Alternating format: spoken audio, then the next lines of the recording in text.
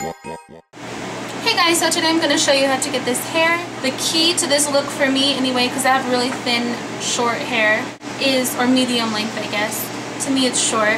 Um, I like this Catwalk. It's the Root Booster Spray for texture and lift and volume. I got this at Target. And I just kind of lift my hair when it's damp and spray it all into the roots. And then I flip my head over, blow dry it, and once my hair is dry, I put a little bit of the Chi hair serum to the ends. And then after that, I do what I'm about to show you. So I hope you guys enjoy this. Don't forget to rate, subscribe, and comment. Let's get started. Okay, so first things first, I like to style my bangs first. So right now they're in this really awkward stage. I'm trying to grow them out and I really dislike them. So I'm just going to get them out of the way by either twisting them to the side or you can um, as I show here in a few seconds, um, I twist them back or to the side, however you like your bangs.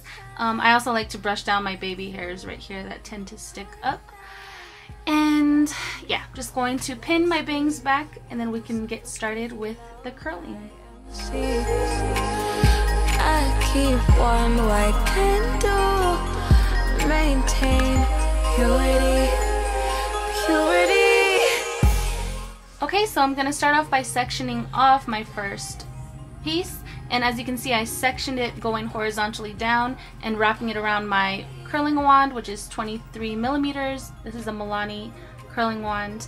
And as you can see, I'm leaving an inch of hair out just so we can keep the length a little bit. So on every piece, be sure to hold an inch of hair out again to keep the length. And you're just going to section your hair horizontally going all the way around until you basically curled your whole hair. Your whole head of hair. Yeah.